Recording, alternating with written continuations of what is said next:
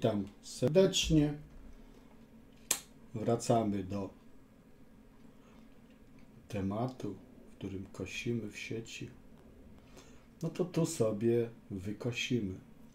Gramy czarnymi, przeciwnik buduje domek. No, póki co D5. Można i skoczek F6. Tu E6. No chcemy grać obronę Firca Mirca, to znaczy chciałem powiedzieć doktora Zigberta Tarasza. No prawie tak gramy.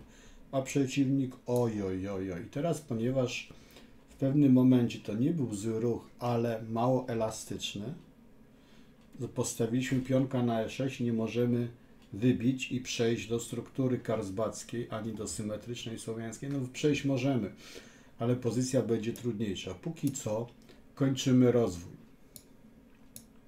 No i tu jest problem, co grać. Prawidłowe jest skoczek C6. Tutaj powstaje łańcuch pionkowy, bazy łańcucha, które trzeba atakować. No jak widać, biały ma szybszy atak na bazę. Szybszy ma atak na bazę. Odszedł, a my szybko, póki co nie roszujemy. No i tutaj nam zagrał na tym skrzydle, na którym chcemy, dał nam punkt do ataku, to już możemy roszować. Można było od razu, no ale warto też postawić figurę do gry. I A5. No chcemy zagrać B4. Jak zagramy B4, jakby to powiedział jeden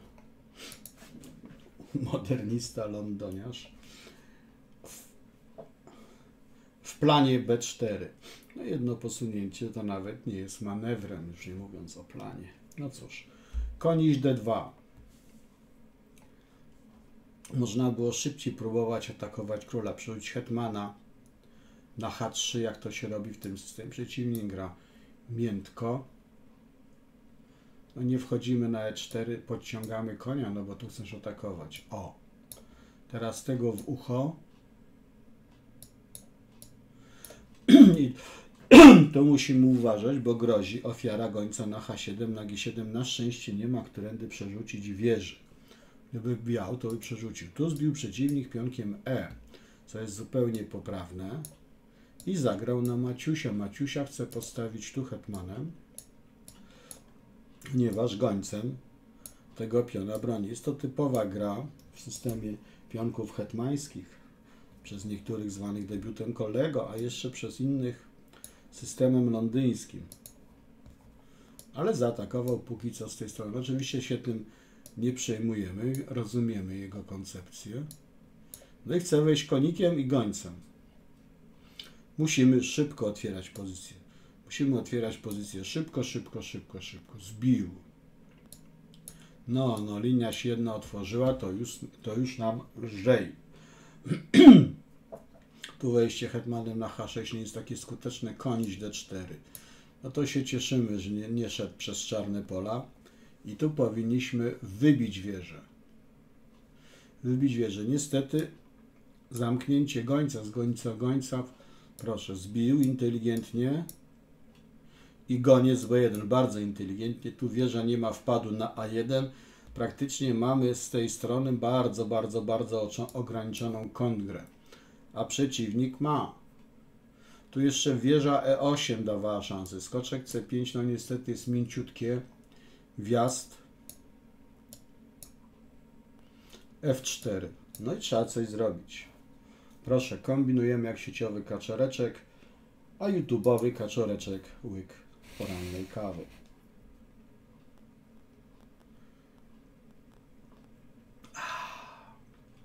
Bisynka. Chodzi tu oczywiście o kawę z Abysynii, a nie Bisynka, jak to ktoś mógł usłyszeć, a Bisynia. Inaczej Etiopia dla przyjaciół. Czas się skończył, pora zrobić jakiś ruch. No F5. Inaczej nas zarżnie, bez tego ruchu dostaniemy mata. Zamknęliśmy gońca, ale jednocześnie otworzyliśmy linię siódmą do ucieczki króla i do obrony ciężkimi figurami punktu H7. I tu przeciwnik, gdyby zagrał hetman G4, król by uciekł. I teraz H4 prawdopodobnie by mnie sprół. Ale zagrał ambitnie hop. No, to żyjemy. To jest w ogóle bardzo takie ładne, ciekawe, pryncypialne. Likwidujemy gońca, żeby miał przeciwnik jak najmniej figur i podciągamy z konisia. No tu mamy jeszcze cały czas problemy techniczne. Hetman G4, bo każdy nasz ruch może być ostatnim. Hetman F6. Hetman obronił tu i tu. No teraz F5 jest groźne, ale nie tak nie do końca. Nie do końca jest F5 groźne, goniec G5. No to łatamy dziury. I tu król na białej. Ten goniec nie gra. Tego gońca jakbyśmy nie mieli w ogóle. Więc tutaj, mimo że mamy tam figur więcej, jakbyśmy mieli praktycznie pionka mniej. No wpadł. I teraz należało zagrać król G7. Bardzo trudny ruch. Król G7. Wieża G8 wydaje się dobre, jednakowoż wieża G8 wypuszcza przeważkę. Nagle hetman wpada z drugiej strony, czegośmy nie przewidzieli. To oczywiście goniec H6 było dobre. I po hetman F6 byśmy prawdopodobnie powtarzali pozycję. Na szczęście dla nas przeciwnik postał nas zmatować i kombinujemy jak sieciowy kaczereczek, a on znowu kawkę z.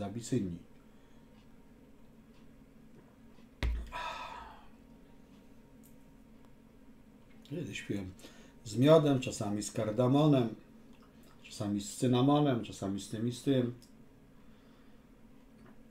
Ale najlepsza jest czyściutka, bez dodatków smakowych. Czas się skończył. I koniś idzie. To nie tyle koniś idzie, ile on tu hetmana odsłonił. O. A koniś kontroluje pole F1, co jest nie bez znaczenia i wygania wieżę, co też jest nie bez znaczenia. Hetman C7, no pan Szachuś. Tu niespodziewanie dla wszystkich, król się schował. I wieża H3, no będzie groził pan Maciuś Maciuś. Ale czarne są pierwsze. Pan Szachuś.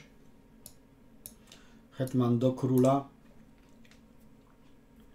I gdzie król pójdzie? Nie może iść tu. A dlaczego? No dlatego, żebyśmy dali szaszka tu. Całkiem przyzwoity szaszek. Poszedł tu. No chce uciec na H4. My tu. A, myśmy tu nie widzieli. Jak to jest? Tu my nie widzimy, że to jest hetman cały czas pod biciem. A, bo to to. Że tu jest hetman pod biciem. Ale żeśmy dali szaszka. I przeciwnik się załamał, nie chciał dalej grać, tu nie może.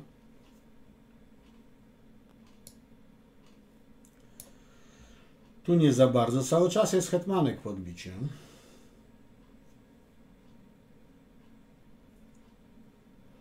Możemy tu dać szaszka. No kto to tak kiepściuk no gra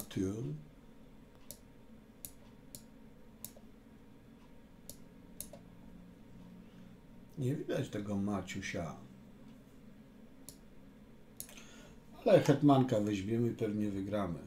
Bardzo mi się podoba ta partyjka. Taka dobra na dobry dzień.